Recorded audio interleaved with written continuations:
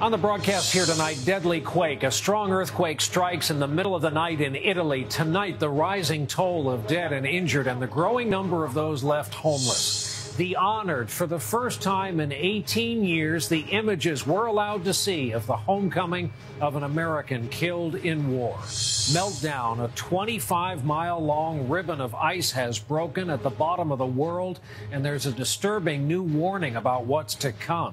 And making a difference, communities acting locally, not waiting for Washington for an economic boost. Nightly News begins now. NBC News World Headquarters in New York, this is NBC Nightly News with Brian Williams. Good evening. It happened in the middle of the night before some of the victims knew what it was. It was, it turns out, the worst and deadliest earthquake in three decades to strike in Italy, and it shook the mountainous central region of the country.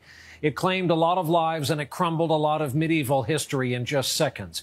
As of tonight, it's believed over 150 are dead, over 1,500 injured. More than 50,000 people are feared displaced. It measured a 6.3 and was believed centered near the town of L'Aquila. That's where our own Stephanie Gosk begins our reporting tonight. Stephanie, good evening. Good evening, Brian. Well, this quake was the deadliest quake in 30 years, and its epicenter struck a town that knows only too well how much force they can have. This city has been destroyed twice before by earthquakes. It was 3:32 when the quake struck this morning. The tremor lasting just 30 seconds, but in that flash, entire blocks of buildings in L'Aquila, a 13th century fortress town, were leveled. One eyewitness said the quake sounded like a bomb going off. Last night was like the end of the world. The building was rocking. You couldn't walk. This man, dazed, pulled from the rubble after a three hour rescue effort, broke down in tears. Using bare hands to dig and ladders to carry the injured, 4,000 rescue workers are trying to reach the trapped. At least 150 people are dead and 1,500 injured, but those numbers are expected to climb as reports come in of towns and villages entirely flattened and cut off by destroyed roads. Phone and power lines are down and gas mains ruptured. Everything is destroyed. Our house has gone. At least tens of thousands of people are homeless and the government is racing to set up a tent city as well as medical field clinics. With L'Aquila's main hospital damaged, medical teams are treating the injured outside. The government appealed for help from doctors and nurses across Italy.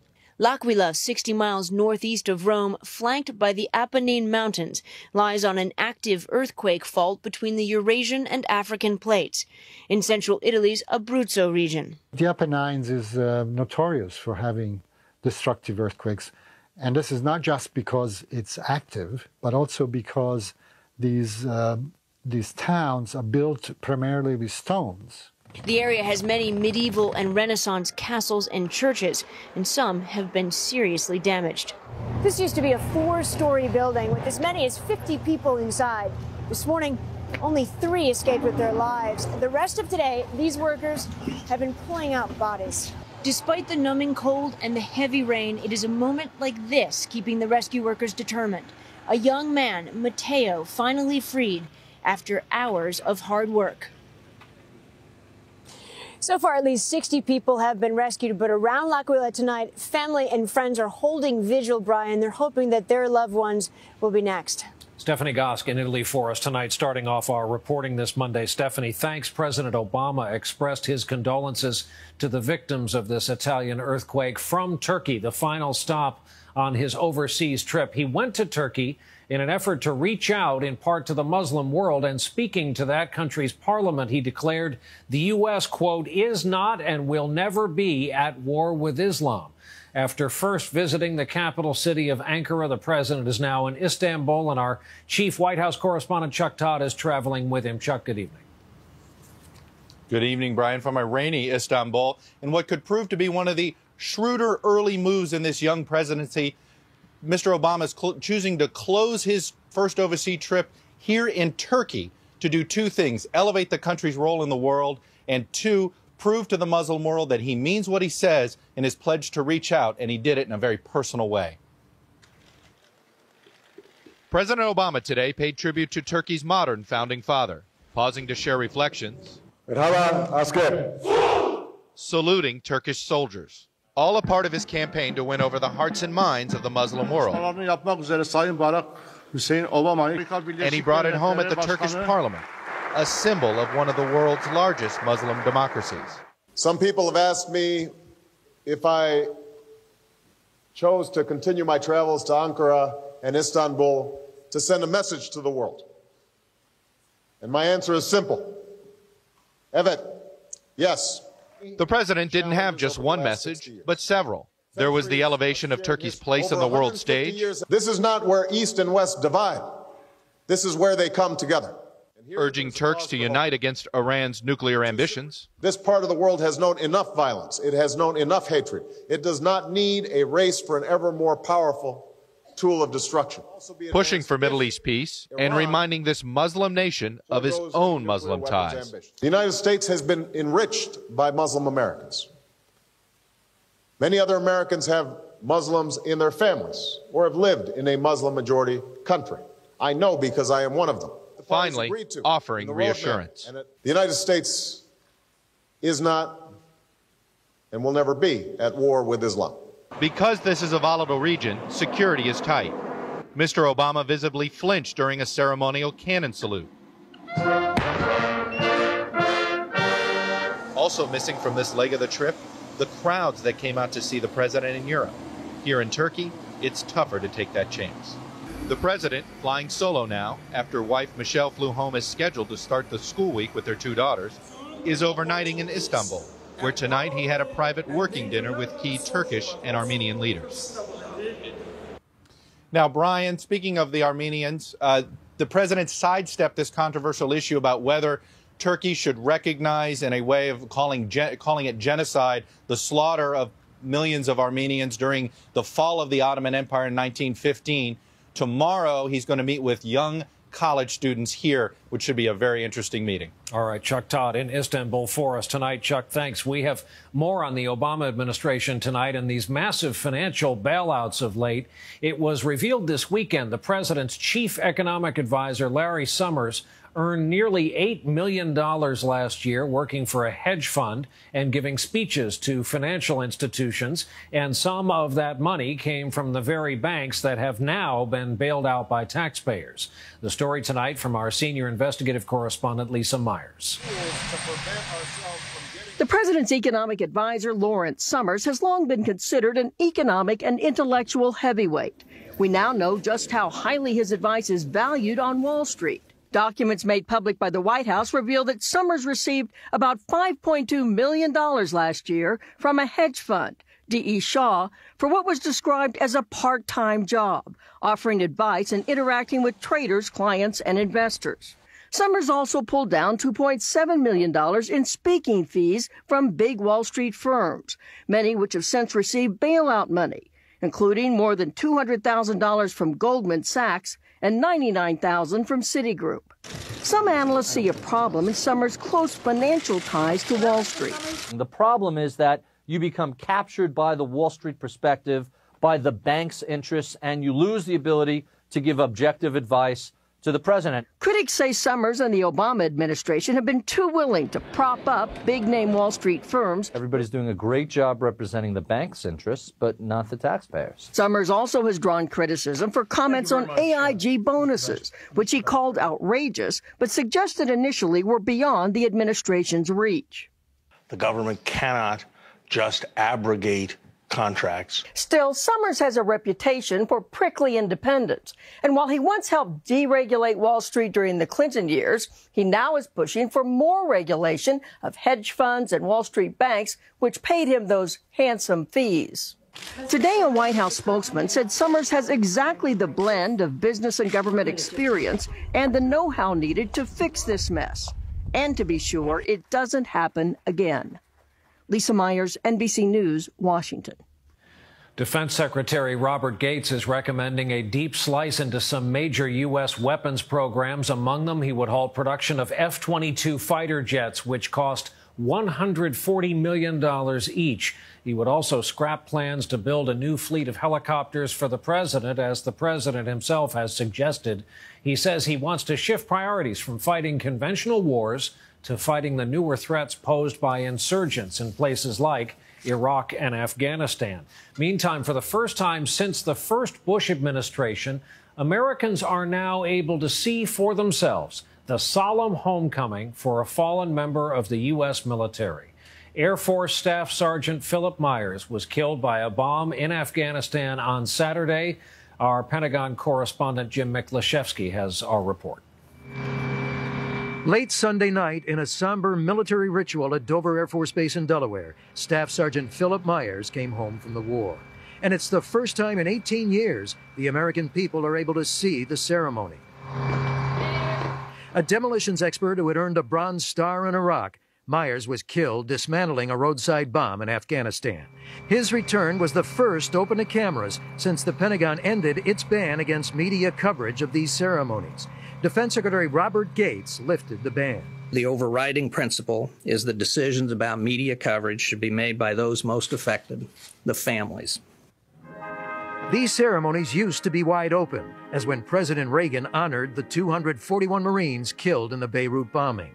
That all changed in 1991 at the start of the Gulf War. The first President Bush banned all media coverage at Dover, and it's been upheld ever since. Critics claim the decision was strictly political over fears that media coverage of mounting American casualties would turn the public against any U.S. war. The constant uh, exposure uh, to the thousands of killed and wounded, and I underscore wounded, uh, would decrease support for the war. But even out of public view, the military cared for America's war dead with the same dignity and precision of a full and open honor ceremony. Before lifting the ban, Secretary Gates went to Dover to see for himself. I went to the uh, back of the plane by myself and spent time uh, with each of the transfer cases. I think I'll stop there. Today, the Air Force gave Staff Sergeant Myers a second Bronze Star, another public tribute to one of America's fallen. Jim Miklaszewski, NBC News, The Pentagon. When Nightly News continues on this Monday night, big changes to report tonight on the environmental front, including how the map of the world changed just in these past few days. And later, what happens when a town is in trouble and doesn't want to wait on Washington for money? The solution is making a difference. I'm Bruce Johnson, and I'm an inventor. I was always congested at night, and that meant a bad night of sleep. I tried everything from padded paper clips to straws. Finally, one night I was laying in bed and I thought, outside of the nose, not inside. Inside Breathe Right nasal strips are two plastic bands that lift open nasal passages so you breathe better and sleep better. My nasal passages stay open,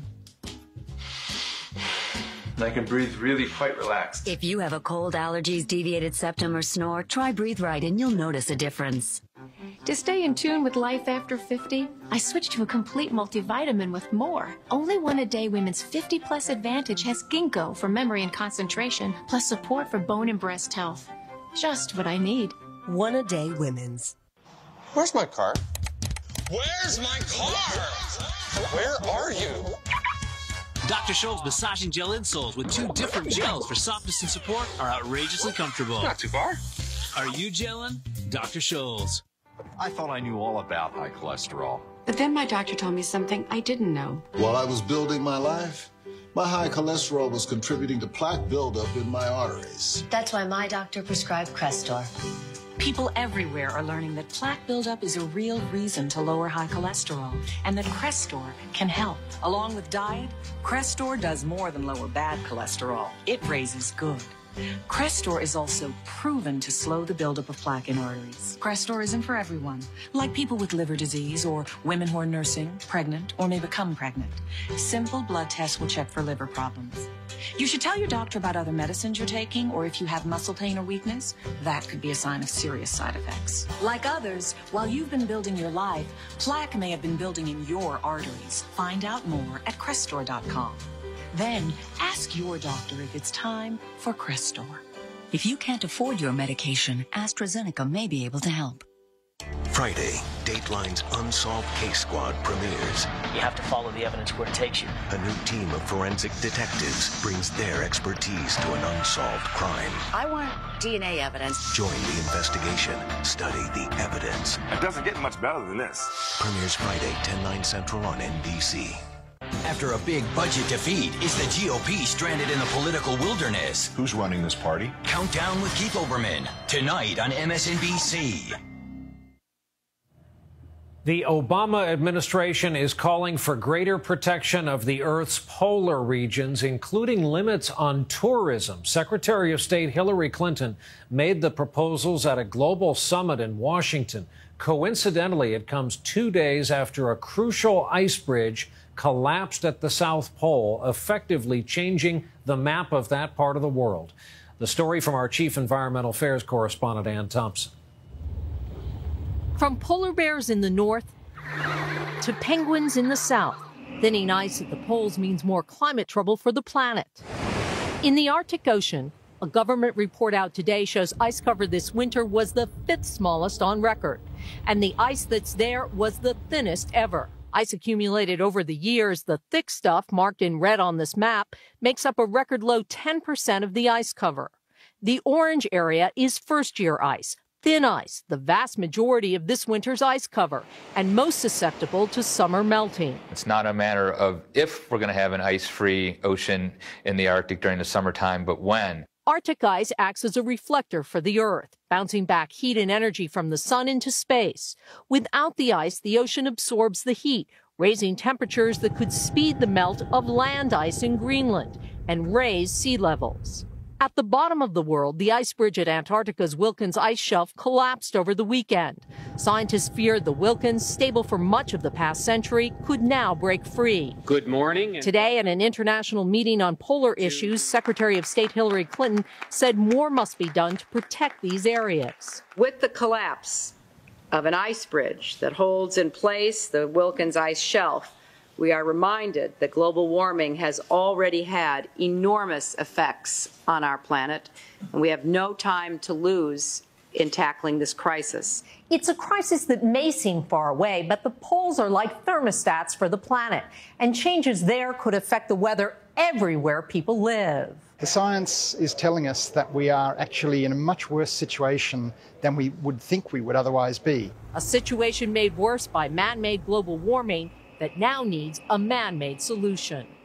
Ann Thompson, NBC News, New York. And when we continue along the way this Monday night, if there are big names on the mound both before and during the game, then it must be opening day.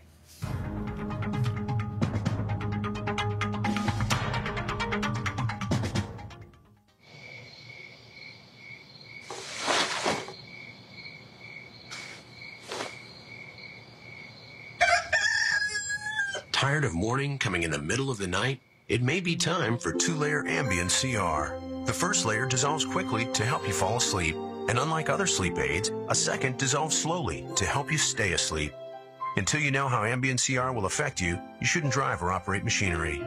Plan to devote 7 to 8 hours to sleep before being active. Sleepwalking and eating or driving while not fully awake with amnesia for the event have been reported. In rare cases, severe allergic reactions can occur. If you experience any of these behaviors or reactions, contact your doctor immediately. Side effects may include next day drowsiness, dizziness, and headache. It's non-narcotic and can be taken for as long as your prescriber recommends. Like most sleep aids, it has some risk of dependency. Don't take it with alcohol. Wake up ready for your day. Ask your healthcare provider for two-layer Ambien CR.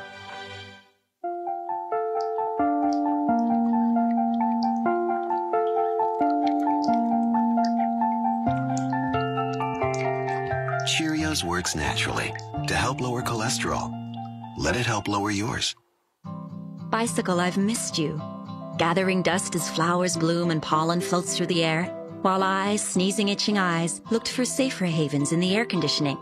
But now, with the strength of 24 hours Zyrtec to relieve my worst allergy symptoms, indoors and outdoors, I'll wipe off the dust that gathered these long months. Use Zyrtec, which starts working two hours faster than Claritin. And promise not to wait as long to go for our ride. Because with Zyrtec, I can love the air. This Easter, let your imagination take you away. Once upon a time. Travel back in time. journey to space, and do it all before bedtime. Bedtime stories. Rated PG. A great Easter gift on Blu-ray DVD combo pack today. Hi, I just switched jobs and I want to roll over my old 401k into a Fidelity IRA. Okay, no problem. It's easy to get started. I can help you with the paperwork. Um, this green line just appeared on my floor. That's guidance from Fidelity. It's the route to your financial goals. Could you hold on a second? Whatever your destination, Fidelity has the people, guidance, and investments to help you find your way. This is going to be helpful. Contact us today. Fidelity Investments. Turn here. The families of the 13 victims of that shooting spree in upstate New York have started burying their loved ones. Memorial services took place yesterday and today in Binghamton. The gunman, Jiverly Wong, killed immigrants from eight different countries on Friday before taking his own life. His sister said on the Today Show this morning his family had no idea he was close to snapping. She said he was depressed about job loss and his limited ability to speak English. And we have something, thankfully, of a positive milestone to report tonight. U.S. highway deaths fell last year to their lowest level in nearly 50 years. Preliminary figures show just over 37,000 people died in motor vehicle accidents. That figure's an improvement. The theory here is the recession and $4 a gallon gasoline had people driving less in that period. The annual report on the quality of airline service in this country is out tonight. Improved is the key word here. In fact, the airlines overall scored their highest marks for service in four years. Smaller appears to have done better. Hawaiian Airlines was the top rated carrier, followed by Discount Airlines, AirTran, that's formerly ValueJet, and JetBlue. Northwest was fourth, the only big traditional so called legacy carrier, now part of Delta, to place it near the top of the list. The first day of baseball season has arrived, and that means ceremonial first pitches thrown by people who are, shall we say, beyond their prime playing years. Among the hurlers taking the mound today, the vice president threw out the first pitch in Baltimore as the Orioles hosted the New York Yankees this afternoon. And former President George W. Bush did the honors in Arlington, Texas, where the team he used to run, the Rangers, took on the Cleveland Indians. He threw what was described as a high strike. We'll be back in just a moment with communities pitching in to help each other in hard times. Tonight's Making a Difference report. My name is Jane, and I've got osteoporosis, but I'm an on the go woman. I've been active all my life. That's why I'm excited about Reclast, the osteoporosis treatment my doctor gives me once a year. My doctor says one IV of Reclast can help protect me while I'm on the go for 12 months. How? Well, Reclast helps to re-strengthen my bones to help make them resistant to fracture. And with Reclast, well, no other osteoporosis treatment is approved to help protect in more places. Hip, spine, even other bones. You should not take Reclast if you're on Zometa, have low blood calcium, kidney problems, or you're pregnant, plan to become pregnant, or nursing. Take calcium and vitamin D daily. Tell your doctor if you develop severe muscle, bone, or joint pain, or if you have dental problems, as rarely job problems have been reported. The most common side effects include flu-like symptoms, fever, muscle or joint pain, and headache. Do what I did. Ask your doctor about Reclast. Year-long protection for on-the-go women. When my allergies hit, I've got a great new way to hit back. I get Claritin Clear with new Claritin liquid gels, the first and only non-drowsy allergy medicine with pure liquid power. Claritin liquid gels, a powerful new way to live Claritin Clear. If you're like a lot of people, you have high blood pressure and you have high cholesterol. You've taken steps to try and lower both your numbers, but how close are you to your goals? There may be more you can do. Only Caduet combines two proven medicines in a single pill to significantly lower high blood pressure and high cholesterol. In a clinical study of patients with slightly elevated blood pressure and cholesterol, Caduet helped 48% reach both goals in just four weeks. Caduet is one of many treatment options, in addition to diet and exercise, that you can discuss with your doctor. Caduet is not for everyone. It's not for people with liver problems and women who are nursing, pregnant, or may become pregnant. To check for liver problems, you need simple blood tests. Tell your doctor about any heart problems and all other medications you are taking, or if you experience muscle pain or weakness, as they may be a sign of a rare but serious side effect. How close are you to where you want to be? Ask your doctor if Caduet can help you go for both your goals. Anxious about quitting cold turkey? Make that first step easier with the Nicoderm CQ patch. Nicoderm steps you down from nicotine gradually, doubling your chance for success. Nicoderm CQ. Three steps, 10 weeks, and you're free. Next on your one source for local news at 7. Developing right now, a brush fire forces families to evacuate their homes in southwest Miami-Dade. From hot to cold, details on tonight's drastic temperature change. From Iraq to the mound at Dolphin Stadium, the heartwarming start to opening day. And the custody battle that literally ruffled feathers in a courtroom. Those stories coming up next year at 7 o'clock. Making a difference. Brought to you by Nicoderm CQ. We're asking folks to keep sending us, keep posting on our website the stories you encounter of good news, acts of kindness for others in this bad economy.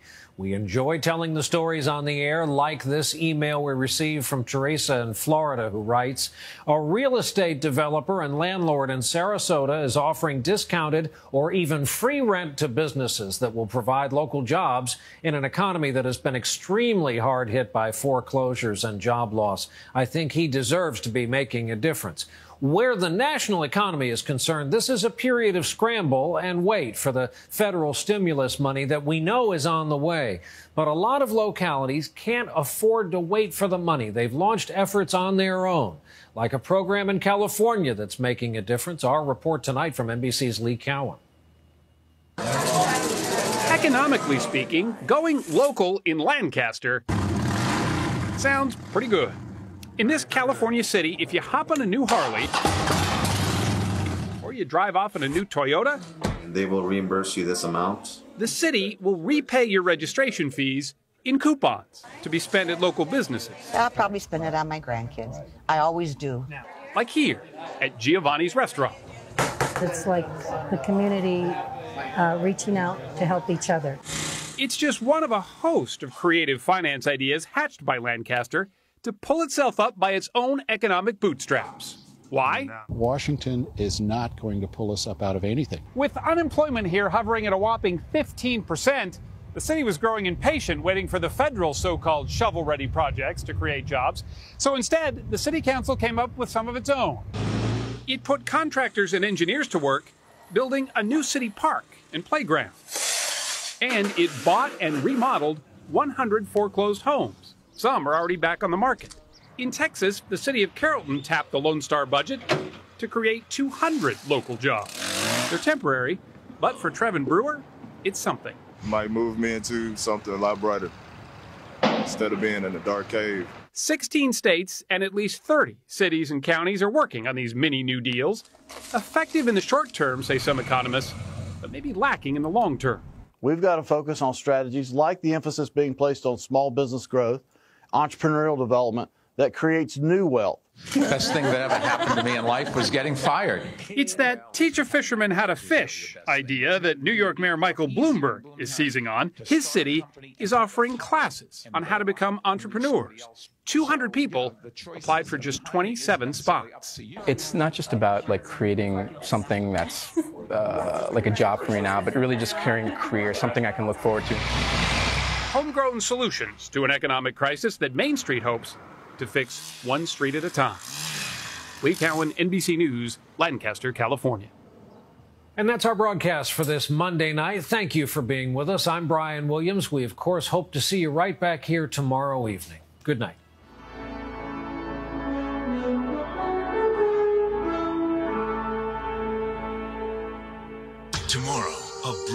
Attack by a pet chimpanzee almost killed her. Now, the exclusive story of her miraculous survival on Today on NBC.